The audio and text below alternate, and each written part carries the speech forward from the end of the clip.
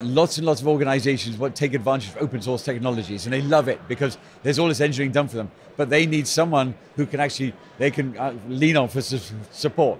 That's where we come in with Diagrid. We provide enterprise grade Dapr support. Hi, this is your host Sapna Bhartia, and we are here at KubeCon and Cloud Ready Con in Paris, and we have with us once again Mark Fussell, CEO of Diagrid. Mark, it's great to see you on the show. It's fantastic to be here at KubeCon. I'm enjoying this conference immensely, and you know, have so much activity. KubeCon is always an exciting place to be. And we met at last KubeCon in Chicago. I just want to hear your opinion on the the turnout, the audience, the questions that you get at the booth from US versus Europe? Well, actually, we've been having an amazing conference here um, from a, certainly from a Dapr open source perspective. You know, for your audience, you know, Dapr is a CNCF technology. It's actually the 12th largest project inside CNCF. It has over three and a half thousand contributors part of the project. And you know, at this conference here, you know, in Paris, we've had many, many sessions talking about Dapr and how it can help developers build their applications and help them be productive on top of Kubernetes. In fact, we had a whole app developer con day, uh, you know, and that's a co-located event where we talk about application development.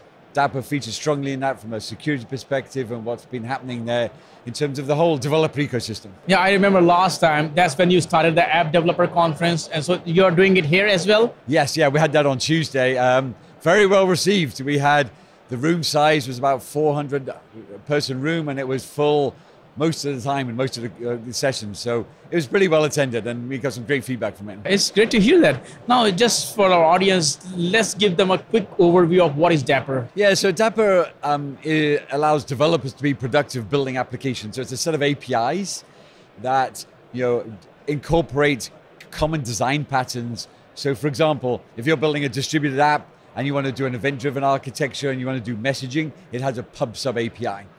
Um, if you want to do service to service communication, it has service discovery and service communication. Um, very importantly, if you want to do like the Saga pattern, where you want to orchestrate a set of workflows or a set of microservices, it has a workflow engine built into it all. So developers combine these APIs together. It prevents them reinventing the wheel, or as we say, don't reinvent the pattern.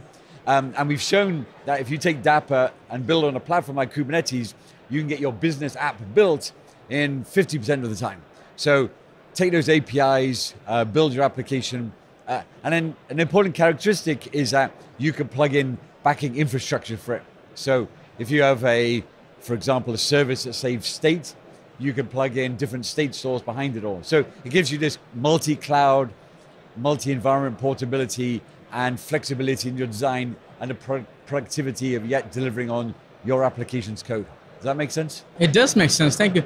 Did you folks make any announcement here at the event? We did, yes. Um, so for us at Diagrid, you know, we produce a, a tool called Diagrid Conductor.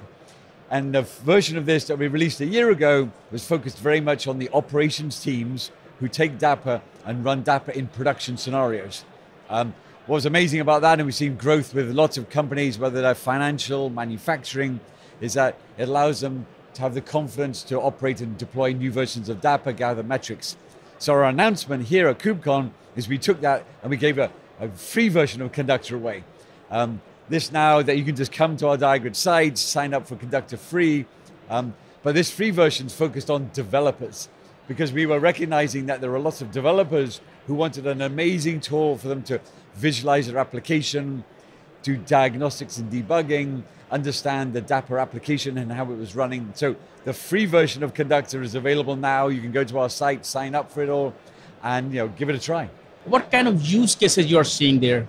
Yeah, that's a good question. So I mean, we work across the spectrum of different organizations. We spend a lot of time working with, say, a lot of financial companies. Um, some of the use cases there go from building maybe a business workflow application where you're coordinating a set of services um, we also see a lot of teams who are starting to put Dapr into platform engineering. So there's a couple of big financial companies we work with, and they want to surface a consistent API across two different types of infrastructure. So Dapr serves as the API for the platform engineering team. Or you might drive, get uh, sort of these event-driven applications, one where um, I have an application, I send a series of events to other services. So maybe I've built a retail application and I'm telling this other one to process the order now. So event-driven scenarios around this. So these are sort of applications we see built, you know, whether it's in manufacturing or in actually in gaming. We've even have gaming scenarios where people build big gaming applications where they send messages between the gaming players and things like this. So kind of a wide variety of messaging, communication, uh, workflow, um, and you know generally building distributed applications around this for you know, mission critical applications. So if you look at these user-based customers, what was the driver behind releasing Conductor? Oh, right, using Conductor, yeah. So for us, so what happens is Conductor itself um, allows the operations teams to understand exactly what is happening. So it kind of crosses the bridge from the develop team have taken on Dapr and said, we love it. And then the operations team goes, oh, I know, but now we have to manage this thing. And you've told us we have to put this on Kubernetes. How do we upgrade Dapr on Kubernetes? How do we understand what's happening deep within inside the application. So it provides this bridge. Um, so imagine this: uh, you're a developer team, you've built a distributed application, it's running say 50, 100 different services, and you're having to explain to the ops team now what's happening in it. That's what Conductor does. It gives you great visualizations. It gives you the latency call from end to end in your application, and it allows the operations teams to be confident that they can talk to the engineering team or the development team to say, yeah, this service is going slow, or this one's experiencing some errors, or I need to upgrade the version of Dapr, and builds that bridge between the two because you know Dapr is a developer technology, but the ops people have to sort of manage this thing. I also want to talk about you know uh, open source. We have talked about that also. Open source has its own role. It solves day one problem, but you know customers need support. They need additional functionalities, yes. features not every company has all the developer resources to be able to leverage these open source. That's where commercialization play a big role. Yes. So when we look at Conductor, I mean, and you're also kind of you know balancing it, you know, free version, paid version. So I want to understand these two versions. What is the difference? Who is it targeted at? Good question. So first, I should kind of clarify. You know, yes, you're right. Lots and lots of organizations want take advantage of open source technologies, and they love it because there's all this engineering done for them. But they need someone who can actually they can uh, lean on for support. That's where we come in with Diagrid. We provide enterprise grade Dapr support. So if you want architectural guidance or training or even a hot fix for a security issue that has to be rolled out within a couple of hours because of some you know, issue with inside your service, come to us for that. So we provide enterprise support for Dapr. Then on top of that, we have the paid version of Conductor as a tool to help manage that, which provides longer, you know, deeper visualize, um, gives you deeper metrics into what's happening inside your application. It allows you to, it has a lot of advisor rules built into it all. So, for example, it gives you best practice advice. It analyzes your code, it analyzes your application, and tells you security things or reliability issues that should be happening. So that's the, the paid version of the uh, Conductor Enterprise. The free version is more targeted to developers. You can only put it on one cluster. It doesn't have so many advisor rules. It's mostly you for you working on your local machine, and basically it allows you to get going, but isn't designed for an operations team. So when you put this together, you know you can come to Diagrid for the open source support for Dapr and Conductor Enterprise for the operations team. But we also think about the developer who just wants to get started on Dapr on their journey and, and, and put that whole flow together. So that's why the free version comes together. So we think we provide a complete package from development to operations as well as support. Of course, there are a lot of things in your pipeline which you cannot share, yeah. but uh, can you just give, give us a glimpse, you know, what next to expect from Diagrid? And we can also talk about if you have a roadmap for Conductor also. So for Conductor, we have a roadmap both on the free version of it, where we want to bring more and more developer functionality, especially visualizations of how your application is running, um, making sure you have been able to stream logs and things like this. On the enterprise side, we do a lot more things there in terms of more advisor rules, editing of all the manifests you have inside Dapr, and basically making sure that you bring more security and reliability features for that. Um, inside Diagrid as a whole, we also have this other thing on our roadmap where we're taking Dapr API and hosting that as a service. So, and we call this another product we call Catalyst, which allows you to use Dapr in non-Kubernetes scenarios.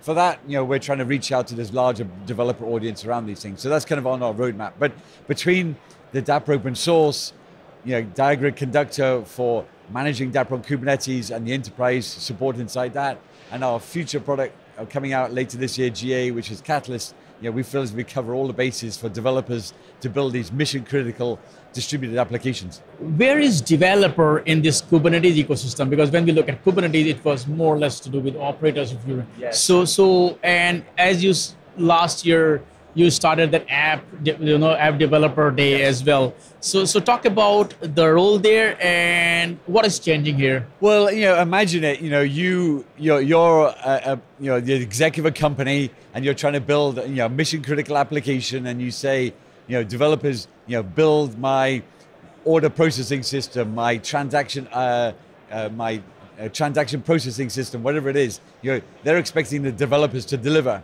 and then people say, you know well, you should be running on Kubernetes. Well, Kubernetes is an ops thing. Yes, it doesn't help in any way. So developers have to struggle to figure out how they stitch together, you know, some open source tools, some other technologies they might be using from some language ecosystem. You know, we see a lot of Java developers, or you might be a Go developer, bringing in particular frameworks around all these things. So that's what we see is the struggle of developers. How do you bring all of that design experience, you know, legacy code uh, we see a huge amount of people just taking legacy code and how is it that they even make that run on Kubernetes? What do they do? Simple things just like managing a secret to talk to a database, writing all this code. So, you know, that's where we see the developer struggles happening.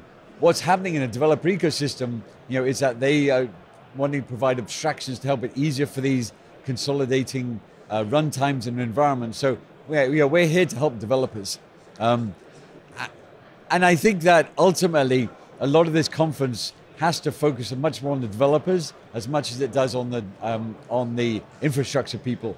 I, I, think now that you'll hear even more AI in this sort of stuff, that AI blending into the developer world is still a developer thing. So, yes, you need to build those models, but you still have to use those models in some way. So, I see this world where, you know, with App Developer Con, part of a co-located event, hopefully that becomes a main track um, and we see more of a sort of a developer focus happening inside the ecosystem inside CNCF. And since you uh, mentioned AI, and AI was a big decision yesterday as well. Uh, I mean, AI has been around for a while. Gen AI is the new buzzword. Uh, what does it? What does Gen AI mean for Dapr or Diagrid? So immediately, right now, we're not doing anything directly with AI. Uh, I think developers are going to do a lot more of this because I see this world where they blend together procedural code and models that they've built that are specifically tied to the data that they've used. So in the end, data is king. You know, there's lots and lots of models out there, and there'll be the general, the Gen AI ones, which is the general ones. But then, in the end, an organization will have to look into its data and say, how is it that I'm using my trading data or my manufacturing data, and I'm going to build a model that helps me optimize that. But I put that into my actual procedural code and blend those together. So we'd like to think that one of the things that probably will come to Dapr eventually one day was how do we provide an API to help you run, launch, manage the life cycle of a, a model that you've developed yourself, you know, the, the whole inferencing side of those things. But there's a lot of competing technologies in that space at the moment. So we're watching it closely, but still the vast majority of organi- teams and organizations are still just building traditional code right now. And you know, we got to let some of the hype come out of the AI. Mark, once again, thank you so much for taking time out today. Talk about Dapr, Diagrid, the whole evolution of the ecosystem. Thanks for great insights, uh, and I would love to chat with you again. Thank you. Thank you, and thank you for having me here today.